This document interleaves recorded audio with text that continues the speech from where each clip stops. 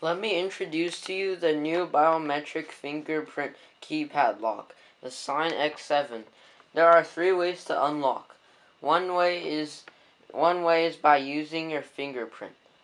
Just touch the center and it will automatically unlock. The second way is to use the keypad. Then the lock will unlock. It will be relocked after 5 seconds. The third the third way is is to use a key. Just put it in, turn 180 degrees, and it will unlock.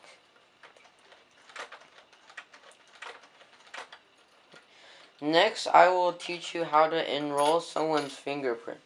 First, press the star, then put then put the administrator finger on the keypad.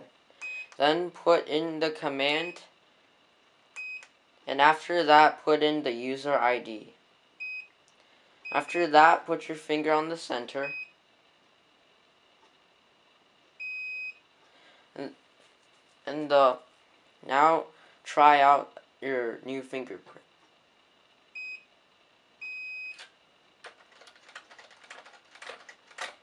After 5 seconds the lock will relock.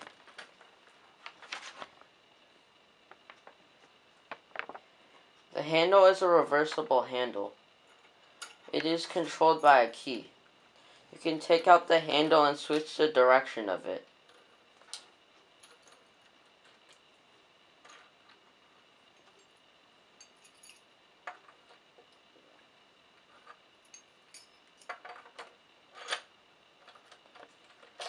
Also, the lock comes with two ports.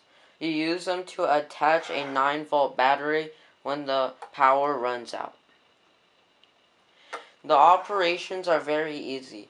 The instructions are all on one page. You will enjoy the convenient skilled lock system once you have it.